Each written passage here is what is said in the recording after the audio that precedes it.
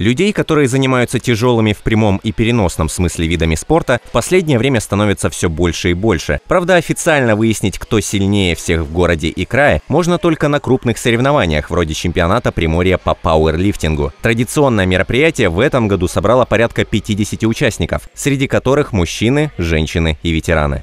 Это мероприятие официально взрос, для взрослых, то есть э, не учитываются те рекорды, которые, если будут здесь пытаться установить юноши и юниоры, которые до 23 лет, здесь идет норматив э, выполненных э, показателей, это по взрослым.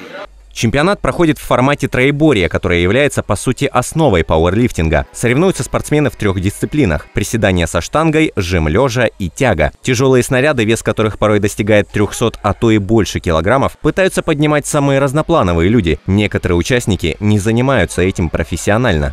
Данные соревнования, вообще данный вид спорта является для меня как хобби.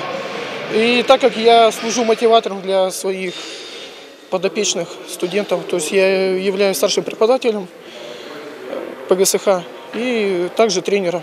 Поднимать такие веса в какой-то степени помогает фактор экипировочного дивизиона. То есть без специального комбинезона к снаряду здесь не пускают. Этакий костюм с одной стороны дает бонус, так как позволяет больше концентрировать всю силу. С другой стороны, вещь не дешевая, да и не всегда удобная. Нравится экипировочный дивизион, я люблю экипировку, для ты сделаешь больше веса, как бы, ну, и она защищает тебя в первую очередь.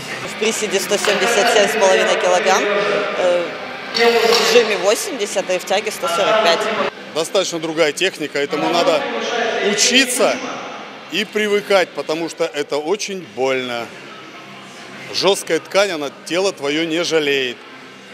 Сейчас будет жим, он будет производиться в майке. Тоже не шуточное дело.